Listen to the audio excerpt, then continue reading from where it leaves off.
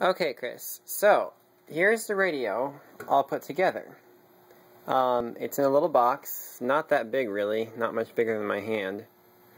And um, it's really cool. So I've got on the back, it's plugged into this antenna system, and out of the in the headphone jack, instead of headphones, I have plugged in a pair of computer speakers so that you can hear it.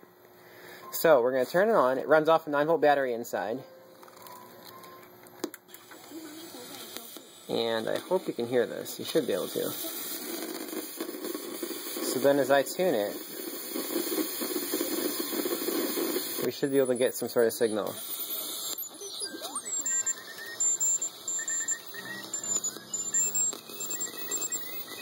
So you can hear those Morse code signals.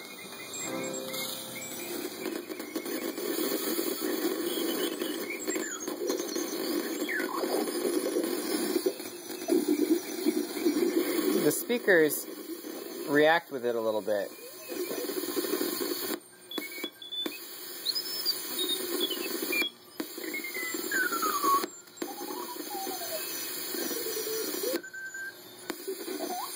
And so that's why you have that extra fuzz, I think.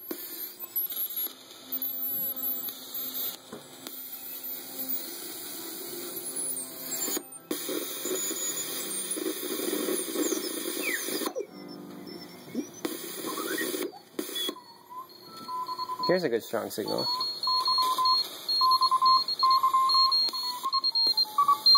You can hear the Morse code going.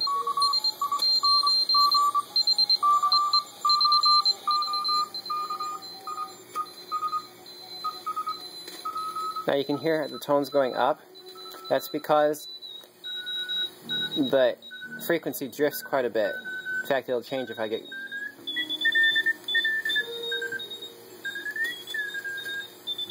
if I put my hand close to it, it drifts a little bit.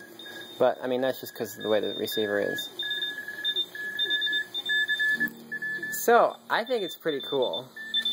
Um, it's a lot of fun to put together, and I might even be able to use it for a, for a, um, a conversation sometime if I had the, the um, complementary transmitter part to go with it. Someday I'll have to get that. Anyhow, so I thought you'd enjoy seeing this.